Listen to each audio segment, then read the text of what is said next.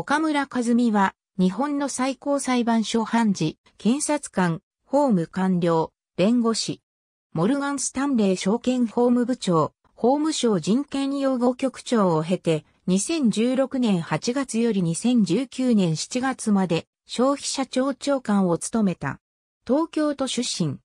1980年に早稲田大学法学部を卒業後、1983年の日本での弁護士登録を経て、長島、大野法律事務所に就職する。1988年にハーバードロースクールにて修士、1989年にニューヨーク州弁護士に登録。1990年にモルガン・スタンレージャパン入社。1997年モルガン・スタンレー、証券法務部長。2000年42歳で東京地方検察庁検事任官。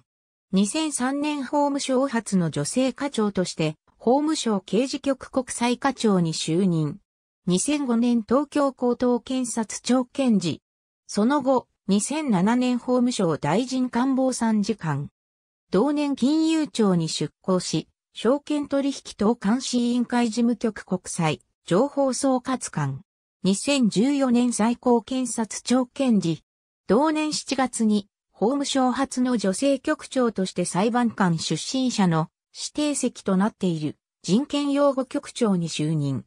2016年より放送出身者初の消費者庁長官を務めた。2019年消費者庁長官を退任し、日本オリンピック委員会上無理事を辞退し、最高裁判所判事に就任。ありがとうございます。